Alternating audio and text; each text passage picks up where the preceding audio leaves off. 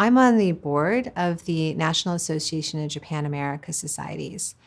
Uh, Japan America Societies play a really unique role in the US Japan relationship.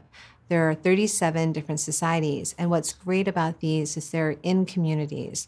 Um, so, across the country, you'll find a local Japan America Society. Some of them are quite large and do a whole range of activities. Some are kind of small and they're just run by volunteers. But they're all people who care about the US Japan relationship and are interested in learning more about Japan. And they have a lot of fun activities, learning the language trying on a kimono, learning about Japanese culture.